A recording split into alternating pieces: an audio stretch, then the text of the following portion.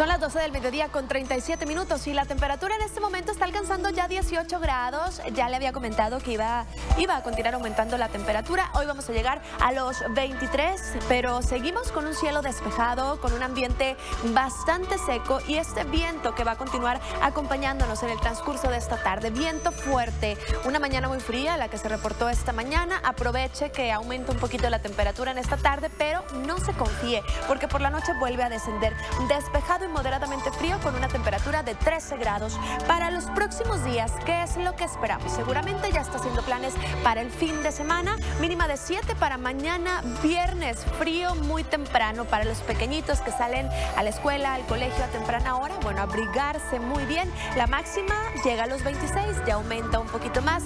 Ambiente muy seco, cielo despejado. El sábado 12 de mínima, 27 de máxima, empieza a aumentar un poquito más. El domingo con neblina, con cielo mayormente nublado 15 por la mañana y máxima de 24. Y atención la próxima semana que van en aumento las temperaturas, lunes 16 con 30 y martes también con cielo soleado, llegando hasta los 27 o 28. Así es que siguen siendo días de muchos cambios en cuanto a la temperatura, eh, como normalmente es en el mes de febrero, unos días muy fríos, otros días con ambiente seco, otros días con viento, así es que manténgase muy pendiente del pronóstico y por supuesto aquí en Telediario le estaremos actualizando día tras día toda la información para que no lo vaya a tomar por sorpresa. Este es el reporte, pero no me despido, lo veo un poquito más adelante.